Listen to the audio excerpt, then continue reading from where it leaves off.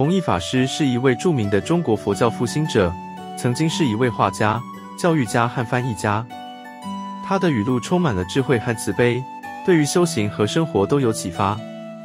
以下是他的十句经典语录以及英文的对照。Master Hongyi is a famous revivalist of Chinese Buddhism. He was a painter, educator, and translator. His quotations are full of wisdom and compassion, inspiring both spiritual practice and life.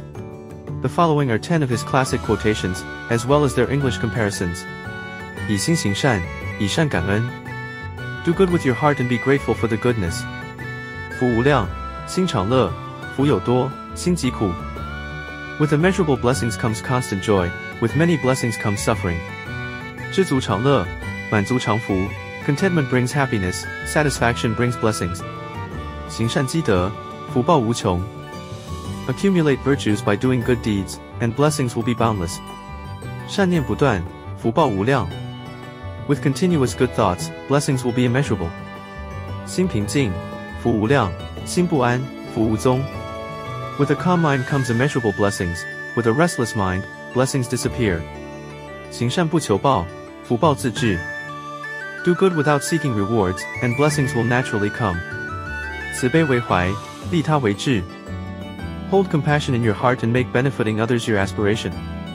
知足常乐，满足常安。Contentment brings joy, satisfaction brings peace. 行善积德，福报无量。Accumulate virtues by doing good deeds, and blessings will be immeasurable.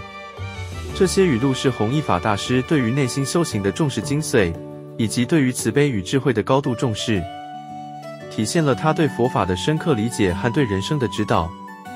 These quotations are the essence of Master Hongyi Fa's emphasis on inner cultivation and his high emphasis on compassion and wisdom. It reflects his profound understanding of Buddhism and guidance on life. 以上是弘一法师的十句经典语录。